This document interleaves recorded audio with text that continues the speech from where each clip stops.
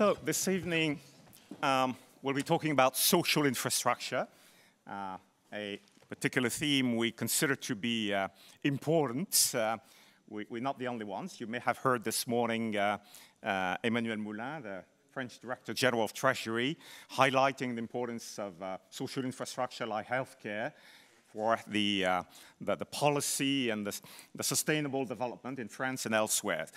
So before we dive in into the substance, uh, I'd like first to take a few minutes to uh, introduce our fellow panelists, or rather ask them uh, to introduce themselves. So uh, maybe ladies first. Uh, uh, Charlotte, if you want to get started. Good afternoon. Good afternoon to everyone. my name is Charlotte Lavie-Dautefort. After 10 years uh, as head of financing within the bank of the Crédit Mutuel Arkéa Group, I've been uh, recently joining uh, Schelcher Prince Gestion, the asset management uh, uh, French uh, firm um, to um, firm of the group, has head of the um, mandate management for the newly created infrastructure transition platform.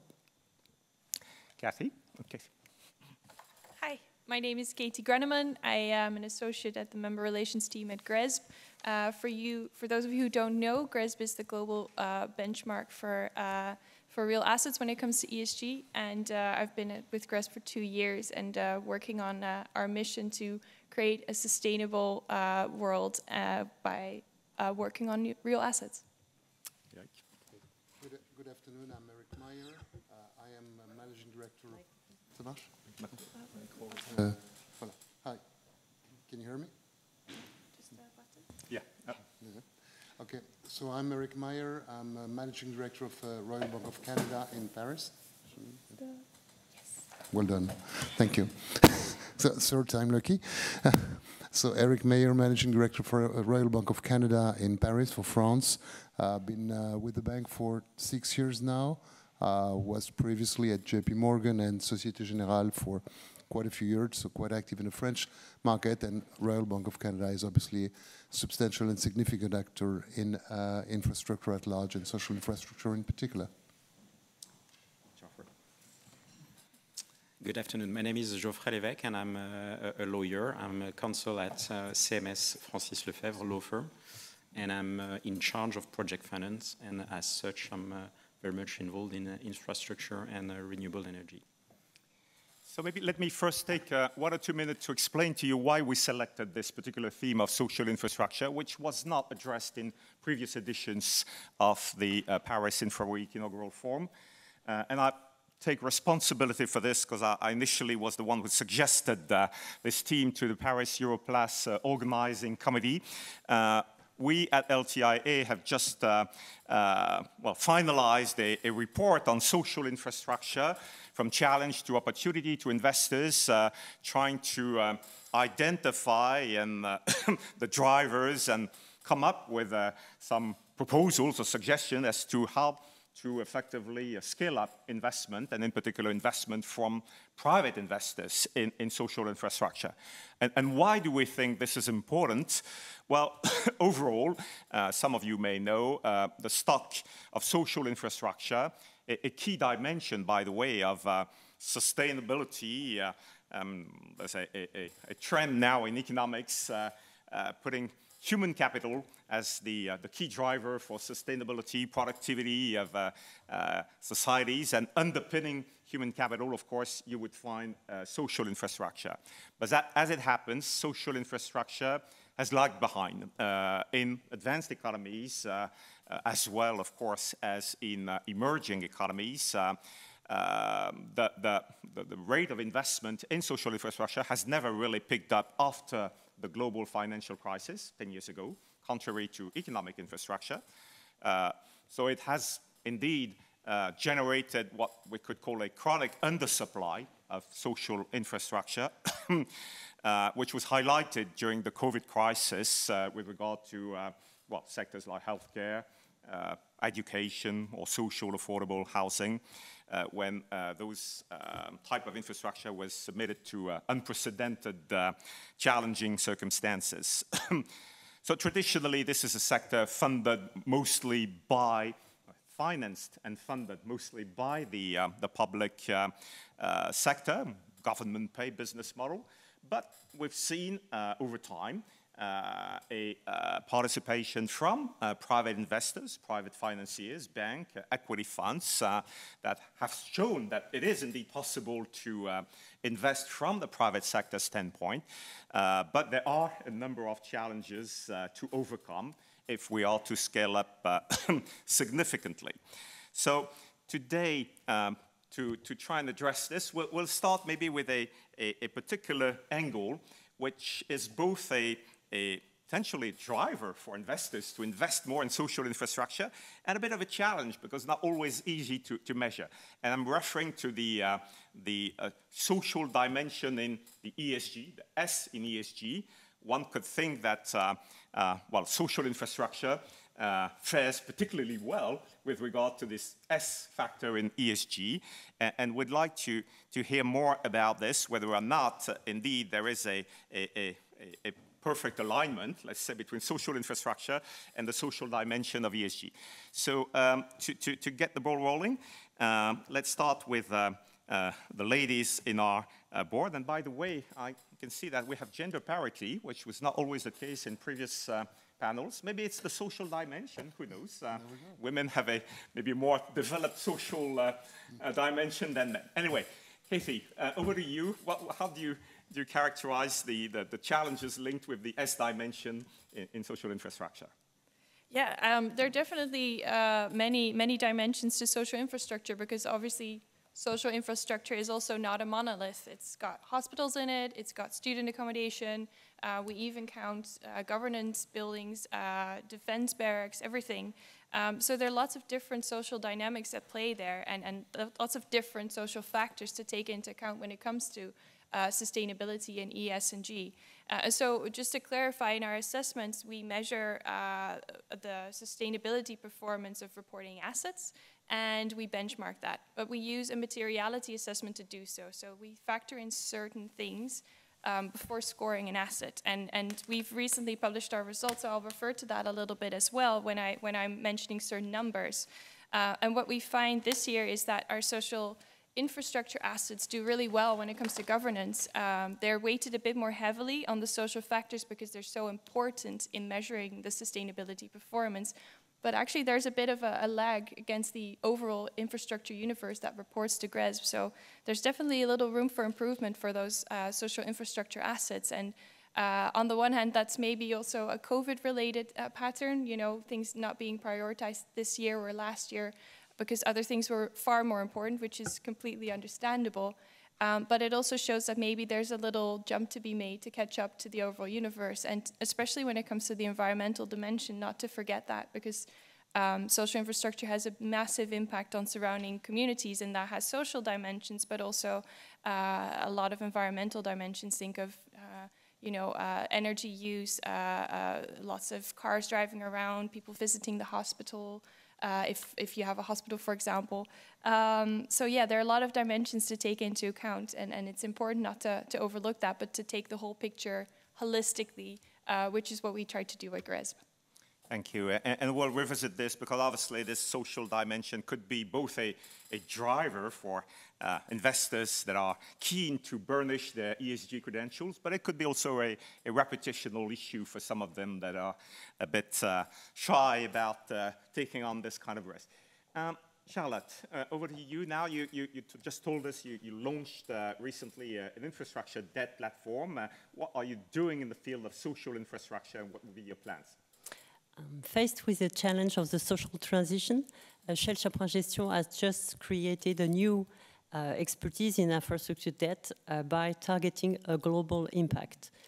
Um, since many years, the ESG dimension is incorporated in the um, in the uh, performance and the uh, way we, we do our financing and asset management uh, activities. Uh, last year, the Crédit Mutuel Arkéa adopted its raison d'être uh, to address the social society and economic development, to to take a long-term view, to have a, a major social and environmental um, impact on the uh, challenging facing our activities. Uh, that's why last September we uh, created the uh, infrastructure transition platform, a new expertise of infrastructure debt management. Effectively, traditionally within the Crédit Mutuel group, the um, infrastructure financing was provided by the bank activity.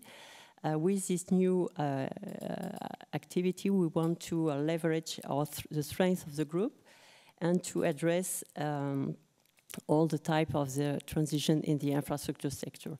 We have today uh, um, a portfolio under management, 500 million euros, uh, which comprise 30% of social infrastructure assets within uh, this uh, portfolio, uh, mainly education projects, universities, colleges, uh, security project. As you mentioned, social infrastructure is quite diversified uh, police station building, for instance, also cultural assets such as uh, arena uh, or sport equipment or public building.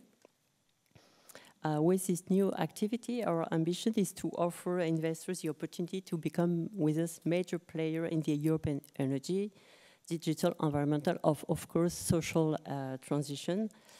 And uh, this is my last point.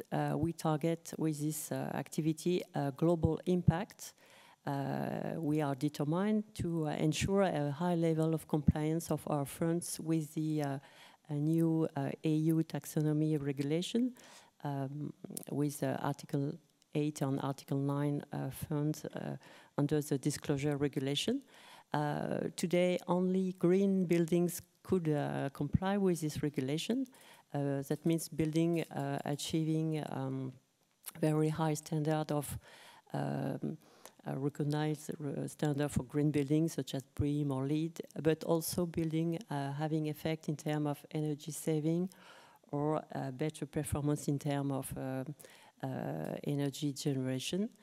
Um, we have, for instance, in our portfolio, one asset which uh, uh, where investment was made on an existing public building for um, sport equipment to improve energy efficiency and uh, with an objective to achieve a performance of 40% energy saving. And this is typically the type of assets uh, uh we target uh, in uh, social infrastructure um, activities. So, Eric, uh, now, uh, from on behalf of the Royal Bank of Canada, your bank has been very active in those uh, markets in Europe and elsewhere. I believe you've been in the top five lenders, social infrastructure, healthcare, over the recent period. Could you tell us what are your your sort of your business drivers and what what kind of approach do you have? Is there a particular business model you you favor in terms of uh, availability payment, funding by the government, or, or rather purely private type of facilities?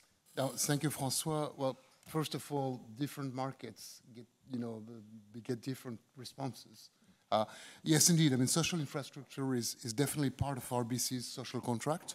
Uh, historically, we at home in Canada have pioneered the financing of social, social infrastructure via the market. Uh, and as a result, uh, you know, the long-term bank market has almost evaporated versus the bond market.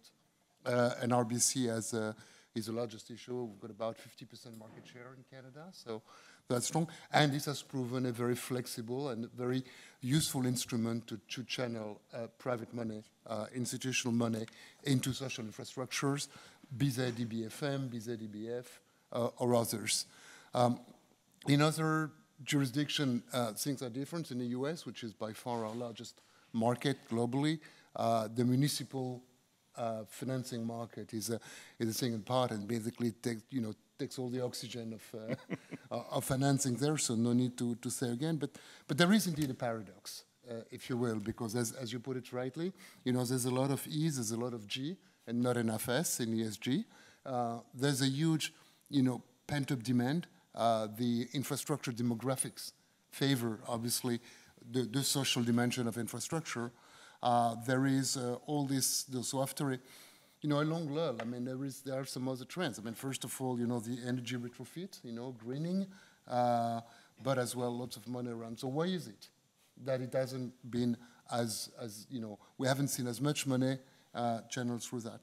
I think you, you touched upon it. I mean, uh, there may be some reputational issues uh, some issues that investors are slightly wary of being associated with a project that may go wrong uh, for whatever reason.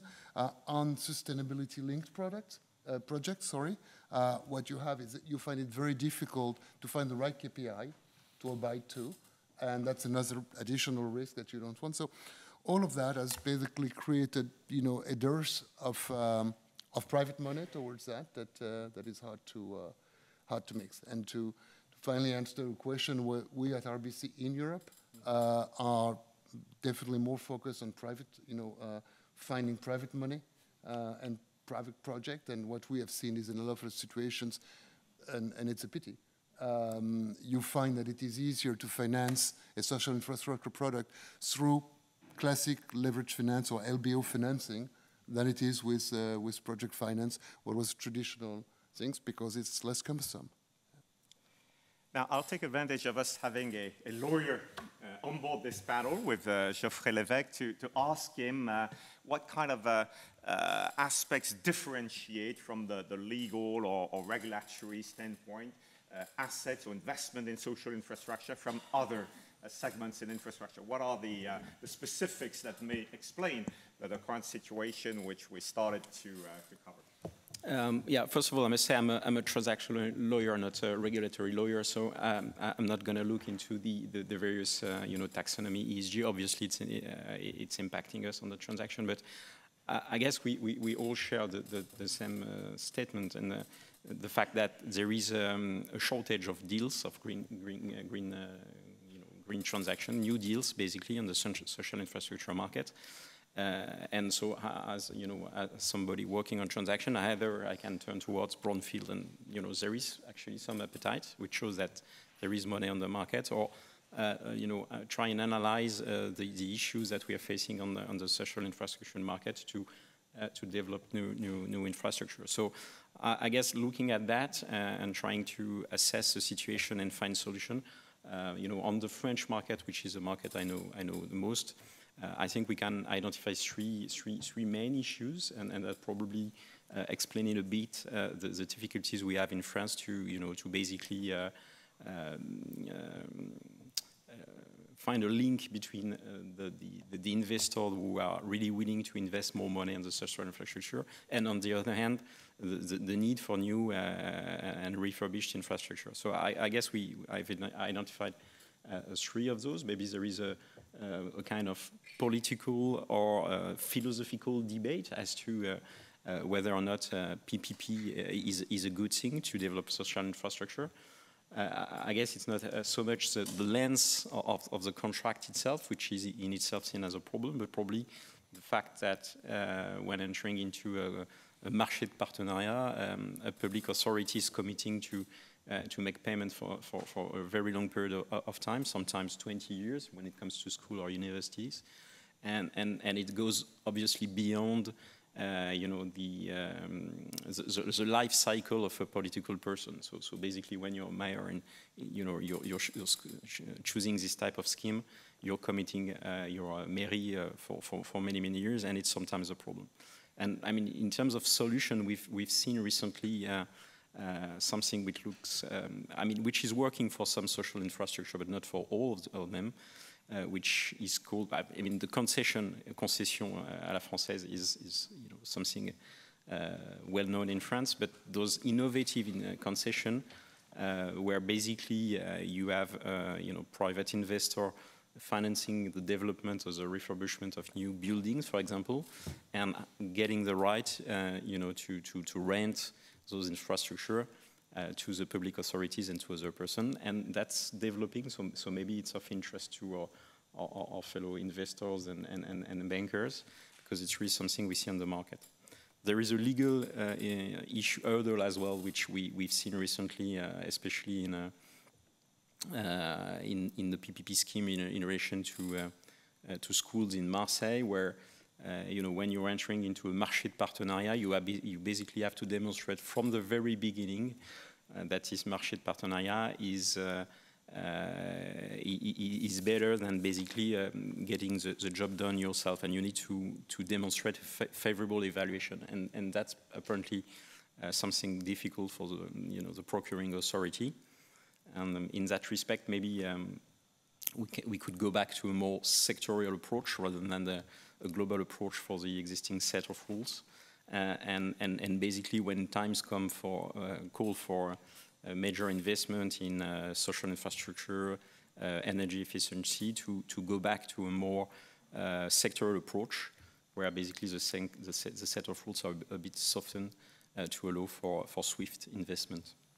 And, and lastly, and probably one we're going to touch upon a, a little bit later, uh, one of the major issues for, for international investors in, in, that market is that basically they want to invest big tickets, something like a 100 million euro rather than uh, you know 10 or, or 15 million euro, and, and that the size uh, of the investment for, for one single asset is a bit too small for, the, for the investors. And, and again, in that respect, we, we've seen um, new scheme develop, developing in, in the market, uh, so-called uh, um, framework agreement, basically, um, accord cadre, uh, whereby a public authority can bundle projects and grant them to one, um, one bidder, uh, which will uh, therefore have um, you know, the, the, the, scale and the size of, of the investment that it's looking for.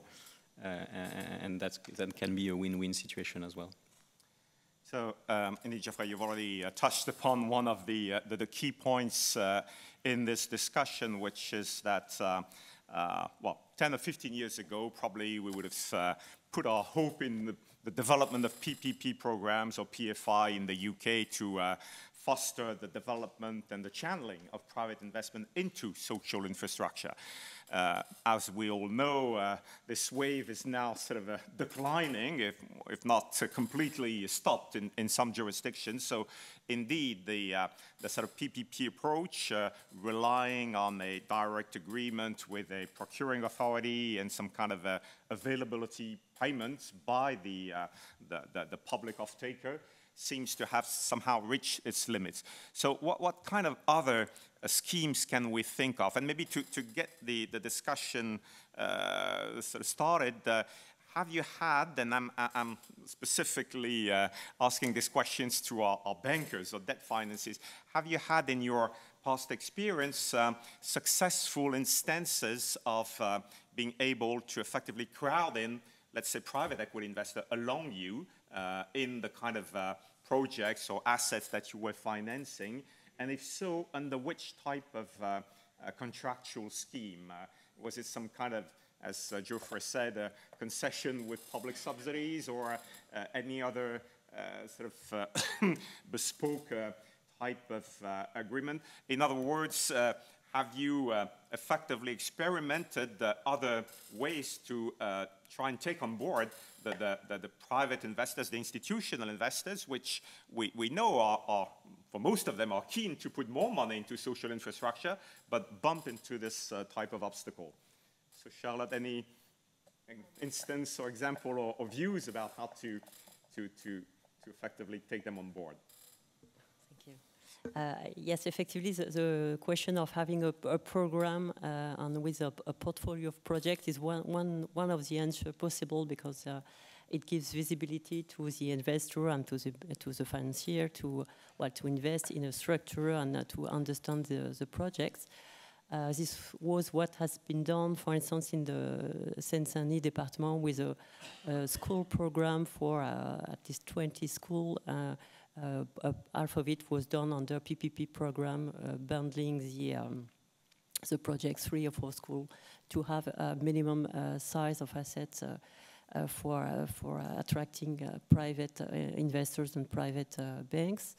Um, but for, instance, this, this is uh, linked, I think, to a, a strong political will because uh, you have to uh, to face, as, as Geoffrey mentioned, well, political obstacles or difficulties.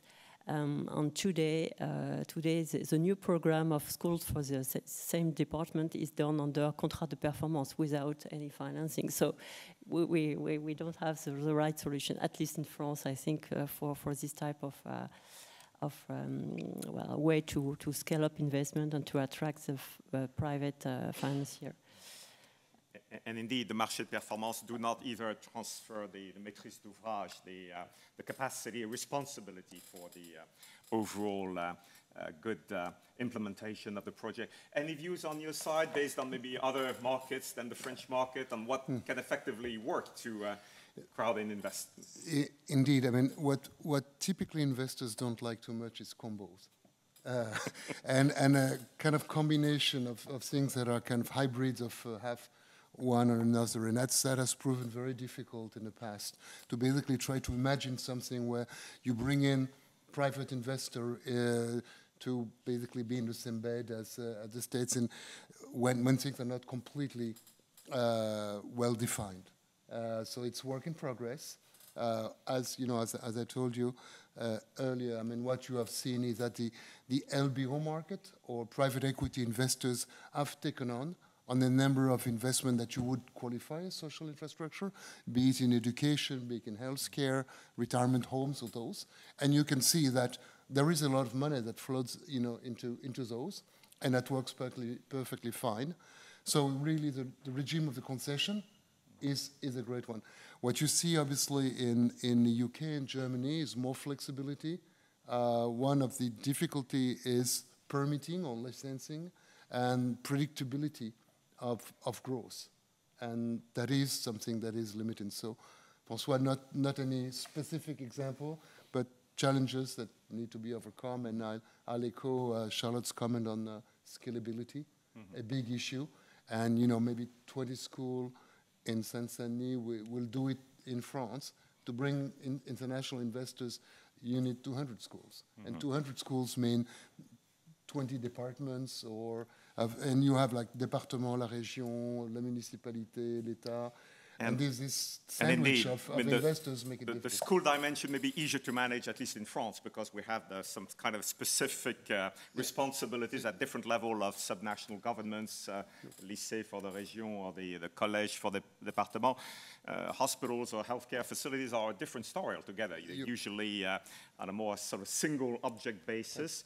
Uh, and, overall, again, I mean, as we, we, we, started by saying that the, the, heart of the problem is that 95% today of social infrastructure in the EU is still publicly financed, publicly funded, and, and, we know there's not much more than the public sector can do. They're already overstretched, they're facing growing uh, public deficit or public debt constraints. So this issue of, uh, um, well, making sure the private sector can play a bigger role is not just an intellectual uh, uh, sort of question. It's really about uh, uh, unlocking uh, the, the, kind of uh, additional resources we need if we are to uh, ensure a fair transition, maintain social cohesion, and make sure the, the, the, the, the sustain, well, the, the, development model we opt for is a sustainable one. But Francois, there are some, there are some success nevertheless, so we shouldn't be too, too much doomsayers. And if you look at the Palais de Justice, for example. I mean, that works fine. Indeed, but uh, it, it, belonged to a wave that may have already peaked right. a few years ago. That is right. Uh, maybe coming back, uh, uh Kathy, to this, um, uh, well, the kind of drivers that may push investors, private investors, to put more money into social infrastructure. So, so we, we mentioned the, the, the, the, sort of ESG credentials.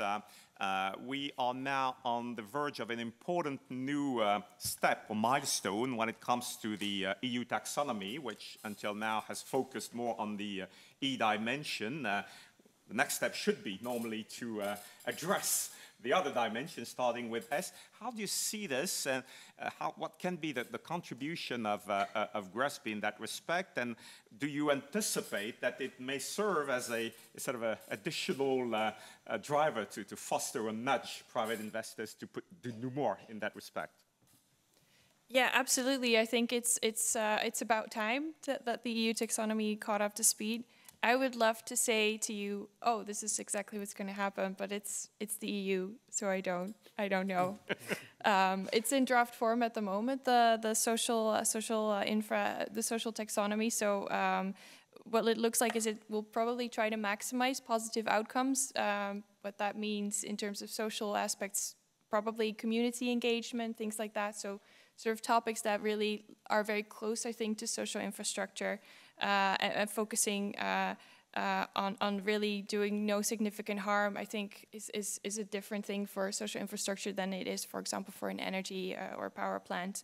uh, what GRESB can contribute to that really is ultimately, if you want to show your performance, you got to measure it, right? You need to be able to put the numbers behind the words. Uh, and that's what I think GRESB is, is really good at, is that we facilitate that. So we have that sort of structured way of reporting the data, benchmarking that as well. So having an understanding of how you stack up against other similar assets. And, and I think that's really where we can contribute. And that's also what we want to contribute uh, towards. Uh, but for the time being, we are watching the space like hawks and trying to make sure that, you know, once uh, once Brussels figures things out, we are ready to, to go effectively and to support our, uh, our members with the transition as well. So one takeaway we came up with with this uh, report, which, by the way, will be made available from uh, tonight or tomorrow morning, uh, first hour, uh, on our website, so uh, and, and, will be uh, disseminated through social media as well. One of the takeaways is that, short of a, a, sufficient deal flow of projects in the uh, social infrastructure field uh, regarding new projects, greenfield projects.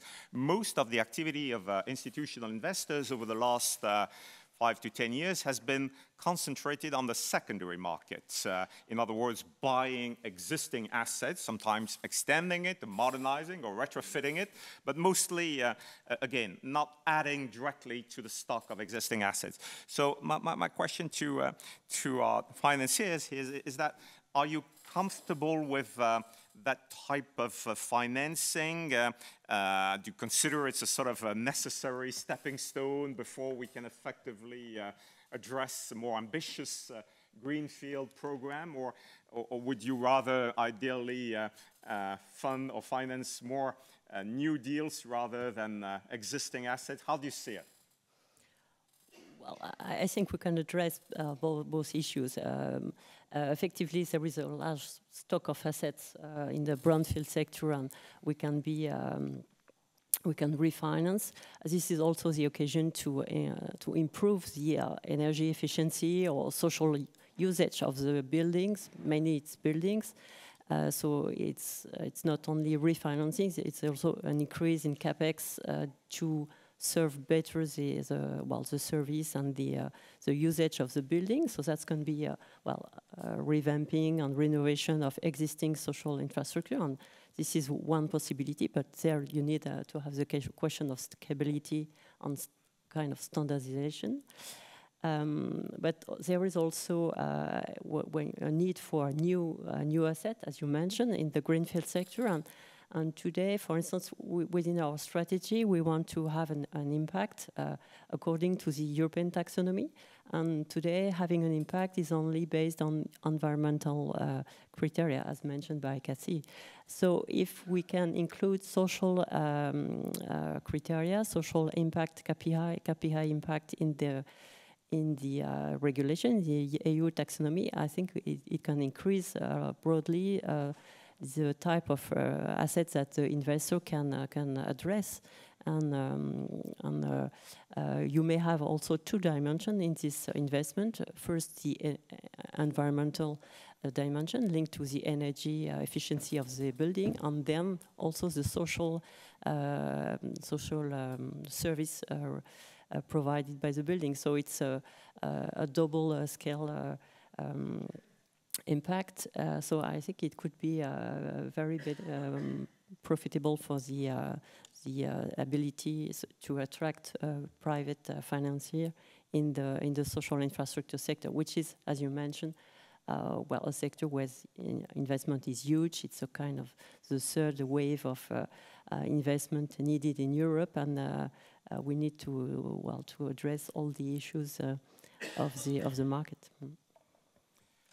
Eric, any views on, on this? No, I would tend to, to echo Charlotte's comment.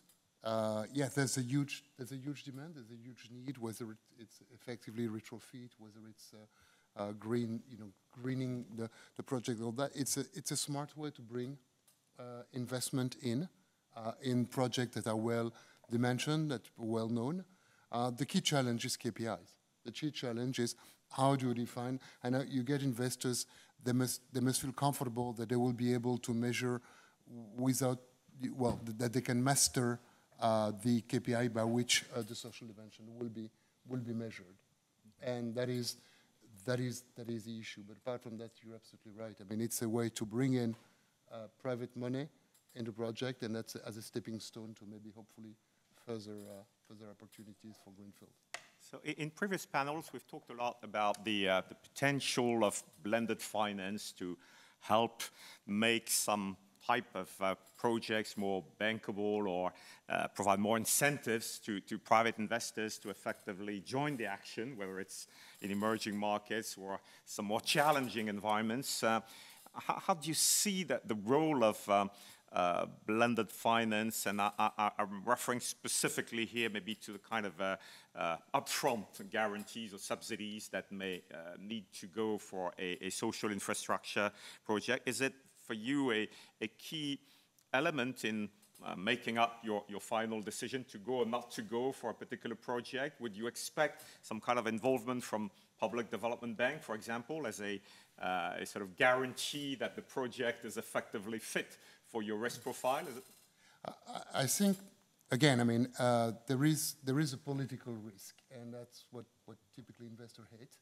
Uh, and the risk of change of mind, change of heart throughout. So the more guarantees about, about uh, that you can have up front about that is, is important. Uh, the more visibility that, you know, talking about the KPIs or whatever you want to measure your investment against uh, is, is not going to change or slide or, or be different five years from now. That's, that's very important. And one has to know that, you know, social investment, but I mean ESG in general, uh, the, the advantage in cost that you get out of that is not huge mm. today. And the reality is that, you know, the financing of, uh, advantage for an ESG project is what, maybe five bips at best in a project. So, so in some ways, you you have to find ways to make this financing advantage more palatable to bring more people from other projects. Uh, we have a few minutes left. Maybe a, another question more directed to our financiers, uh, uh, and it's linked with the uh, sort of subsectoral approach to social infrastructure. So we, we've put healthcare a bit on the front uh, as it's sort of a, a, sector that comes naturally to mind when talking about social infrastructure, but there, there are a lot of other segments, uh, uh, well, care in more general senior care or, or facilities, uh, education, of course, student housing, uh, social affordable housing, this type of uh, segments that may maybe uh, carry less sort of a reputational risk than investing in a hospital uh, and may have less regulatory constraints attached to them. Uh, do you have, as, a, as a bank, a, a sort of ranking of preferences uh, in terms of which sectors are more comfortable, let's say, for you to effectively get in, and which sector you would rather reserve for further developments once you're higher in the experience curve? So I will respond as an asset manager. Never, I'm not, not a, a banker anymore. Um, well, I, I, think each uh, subsector of social infrastructure has its own merits and, uh, and difficulties. So that uh, well, our our um, approach is to uh, to have a well deep due diligence and uh, analysis of all the risk. It can be reputational, payment risk. Uh, well, as as, as the opposite to economic infrastructure, generally you you rely on the public sector. Uh, uh, subsidy, payment, rent, any any kind of uh, public support, which can help the global risk appreciation of the of the project. Um, when you you have also um, user revenues, uh, well, the question is how uh, you can quantify these uh, user revenues, and uh, is this uh, well um, uh, taken into account in your risk or credit analysis? Um, so, I think while there is no one general answer. I think we have to address each asset uh, with its own uh, uh, specificity. This is uh, well the beauty of project finance, in fact, uh, to uh, to be able to well to to work on a case by case. but typically, um, new technology risk is something project financier does not do not like a lot. Um, uh, political risk uh, has to be uh, well to be organized, but sometimes difficult to uh, to address also. but there is also very well strong um, forces in the in this sector. the global uh, credit risk is, is that essential assets uh, that provide a service. And we've seen during the COVID-19 crisis that uh, these assets has been continuing operational and and uh, this is a very resilient asset. So uh, with all these um, uh, strong um, strong points, you can you can um, organize and structure a financing that is uh, acceptable for uh, for investors and for uh, um, for asset managers, I think. Thank you. We, are getting closer to the end of our time slot, so let, let me maybe try to wrap up briefly some of the issues that we touched upon during this session. I think we have identified a number of challenges or specific constraints that uh, probably currently limit the, the, the, size and the expansion potential of social infrastructure as a, a, an asset class for investors, whether it's the limited pipeline of uh, new greenfield projects, uh, reputational risk issues for some investors in, uh, in the kind of uh, uh, projects that have a, have a higher uh, public opinion profile, and hospitals come to mind. Uh, the small asset size, uh, typically the fact that a, a, a, school or a hospital is a much smaller asset than a, a motorway, an airport, or a, power station, and may stay below the radar screen, below the radar screen for many institutional investors. Uh, uh, the difficulty to assess the, uh, the, S dimension, which should naturally uh, be attached to um, social infrastructure assets, and we, have mentioned without really uh, diving deeper some uh, regulatory issues which may also uh, limit access or political or philosophical uh, dimension that may limit the, private sector access to, to uh, social infrastructure. So a number of challenges, but uh, I think for every challenges you could think of a, a potential uh, well, solution or at least proposal to help address and overcome these challenges. You'll find uh, some of those uh, recommendations or suggestions in our report, uh, whether it's about uh, uh, developing or recycling existing assets by procuring authorities, bundling projects, um, making, having a more active stewardship from uh, institutional investors to uh, make sure the ESG dimension is fully taken care of. Uh, um, come, going for more innovative uh, contractual schemes uh, to uh, overcome limits or issues linked with previous contractual PPP schemes, for example. so I can only encourage you to um, have a quick look at it. It'll be disseminated from, from tomorrow, and I hope we keep we hope to keep this uh, debate lively. Uh, there's certainly a need for more uh, well, thought-provoking and brainstorming on how to scale up uh, investment in social infrastructure. With that, I suggest we give a round of applause to our panelists. And, uh,